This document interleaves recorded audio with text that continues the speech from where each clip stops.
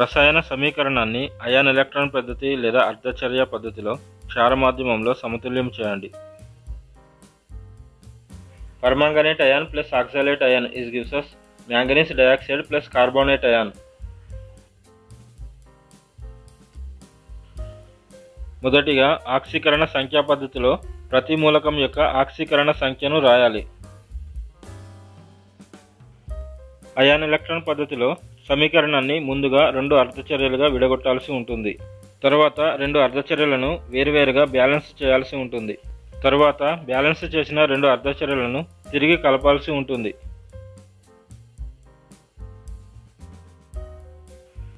ఈ సమీకరణంలో కార్బన్ యొక్క ఆవేశం ప్లస్ త్రీ నుండి ప్లస్ ఫోర్కి పెరిగింది.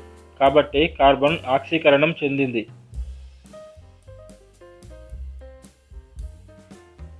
మ్యాంగనీస్ యొక్క ఆవేశం ప్లస్ సెవెన్ నుండి ప్లస్ ఫోర్కి తగ్గింది. కాబట్టి మ్యాంగనీస్ క్షయకరణం చెందింది. మనం ఇప్పుడు రెండు అర్ధచర్యలలోని మూలకాలను వేరువేరుగా బ్యాలెన్స్ చేయాలి. ఆక్సీకరణ అర్ధచర్యలో కార్బన్ పరమాణువులను బ్యాలెన్స్ చేయడానికి మనం సిఓ త్రీ టూ మైనస్కి ముందు టూని ఉంచాలి. కార్బన్ పరమాణువులు బ్యాలెన్స్ చేయబడ్డాయి. ఇప్పుడు మనం ఆక్సిజన్ పరమాణువులను బ్యాలెన్స్ చేయాలి. అలా చేయడానికి మనం నీటి అణువులను చేర్చాలి. ఆక్సిజన్ పరమాణువులు బ్యాలెన్స్ చేయబడ్డాయి. ఇప్పుడు హైడ్రోజన్ పరమాణువులను బ్యాలెన్స్ చేయాలి.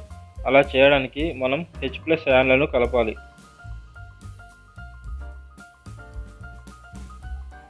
ఇప్పుడు ఆక్సీకరణ అర్ధచర్యలోని పరమాణువులు బ్యాలెన్స్ చేయబడ్డాయి.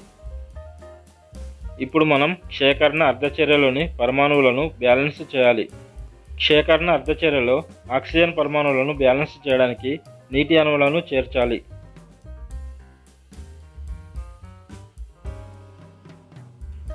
ఆక్సిజన్ పరమాణువులు బ్యాలెన్స్ చేయబడ్డాయి. ఇప్పుడు హైడ్రోజన్ పరమాణువులను బ్యాలెన్స్ చేయాలి. అలా చేయడానికి హెచ్ ప్లస్ అయాన్లను కలపాలి.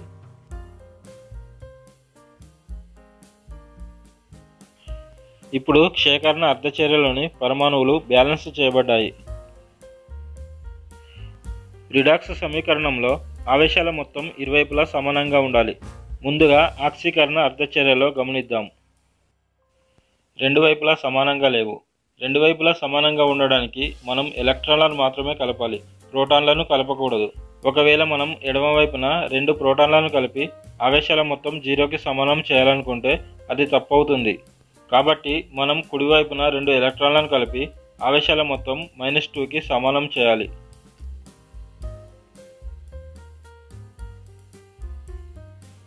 ఇప్పుడు ఆక్సీకరణ అర్ధచర్యలో ఆవేశాల మొత్తం సమానం చేయబడింది.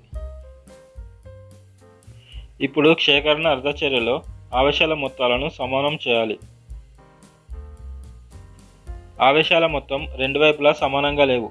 రెండు వైపులా సమానం చేయడానికి మనం ఎడమ వైపున మూడు ఎలక్ట్రాన్లను కలిపి జీరోకి సమానం చేయాలి.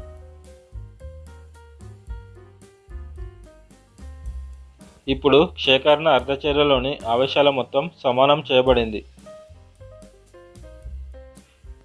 ఎలక్ట్రాన్ లాభం ఎలక్ట్రాన్ భేదానికి సమానంగా ఉండాలి. ఒక అర్ధచర్యలో కోల్పోయిన ఎలక్ట్రాన్లు మరొక అర్ధచర్యలో పొందిన ఎలక్ట్రాన్లకు సమానంగా ఉండాలి. ఆక్సీకరణ అర్ధచర్యలో ఇక్కడ రెండు ఎలక్ట్రాన్లు ఉన్నాయి కానీ క్షేకరణ అర్ధచర్యలో ఇక్కడ మూడు ఎలక్ట్రాన్లు ఉన్నాయి. ఇప్పుడు రెండు అర్ధచర్యలలోని ఎలక్ట్రాన్లను సమానం చేయాలి. అలా చేయాలంటే రెండు అర్ధచర్యలలో ఆరు ఎలక్ట్రాన్లు ఉండాలి.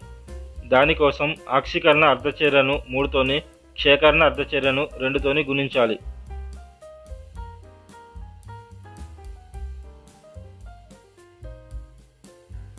ఇప్పుడు రెండు అర్ధచర్యలను కలపాలి.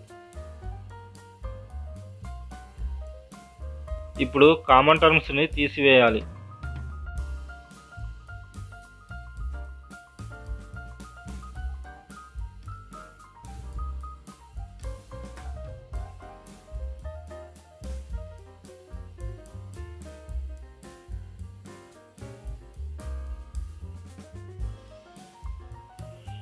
ఒక సమీకరణానికి క్షార మాధ్యమంలో ప్రతి హెచ్ ప్లస్ అయాన్కు ఓహెచ్ మైనస్ అయాన్లను కలపాల్సి ఉంటుంది. ఆవేశాలను మరియు అణువులను బ్యాలెన్స్ చేయడానికి ఓహెచ్ మైనస్ అయాన్లను ఇరువైపులా కలపాల్సి ఉంటుంది.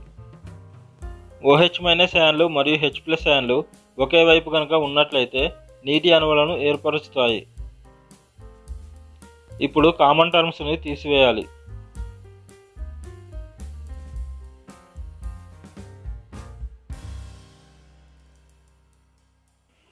ఇప్పుడు క్షార మాధ్యమంలో సమీకరణం బ్యాలెన్స్ చేయబడింది.